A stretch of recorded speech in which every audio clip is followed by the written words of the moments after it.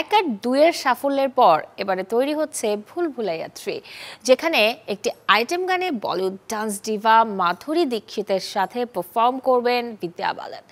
পরিচালক আনিস বজমি এরই মধ্যে দুই তারকার যুগলবন্দির পরিকল্পনা সাজিয়ে ফেলেছেন। প্রযোজক ভূষণ কুমার এবং তার দল জনপ্রিয় গানের একটি নতুন উপস্থাপনা নিয়ে কাজও শুরু করেছেন। আগামী মাসে গানটির শুটিং করার প্রস্তুতি চলছে। খুব তাড়াতাড়ি গানের সিকোয়েন্স নিয়ে চূড়ান্ত সিদ্ধান্ত নেবেন নির্মাতারা। তবে ছবিতে মাধুরী অভিনয় না করলেও একটি বিশেষ চরিত্রে বিদ্যা থাকছেন বলে জানিয়েছেন নির্মাতা। দু হাজার সাত সালে মুক্তিপ্রাপ্ত প্রথম ভুলভুলাইয়া সিনেমাটিতে মুখ্য চরিত্রে অভিনয় করেছিলেন বিদ্যা বালান।